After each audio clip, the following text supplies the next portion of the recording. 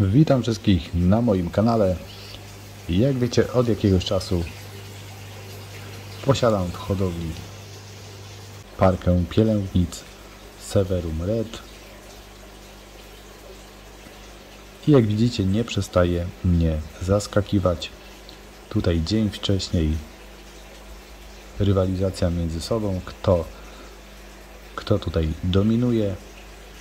No i już wiedziałem po tym, po tej sytuacji, że jutro pojawi się tarło. Także jak widzicie, na drugi dzień wszedłem do hodowli.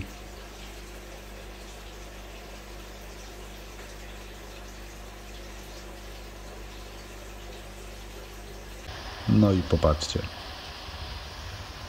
Samczyk tutaj pilnuje, próbujemy tutaj gdzieś trzymać na dystans, no ale muszę im troszeczkę poprzeszkadzać, no żeby dla Was nagrać ten film, więc muszą mi to ryby wybaczyć. Takie herosy naprawdę potrafią bardzo dużo złożyć takiej ikry, więc już jeden miod odchowuję. Myślę, że tutaj jeszcze jeden może odchowam i później niech sobie spokojnie pływają i robią co chcą. Nie chcę się tutaj zawalić akurat Severum.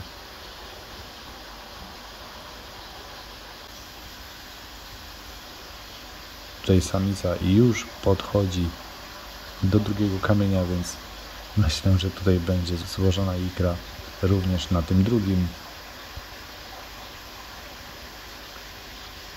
Także zobaczymy, może tego jednego kamienia stąd wyciągnę, a jak będą składać jeszcze na tym drugim, no to tego drugiego im najwyżej tutaj zostawię. Zobaczymy, co, co oni z tym zrobią i jak to dalej się potoczy.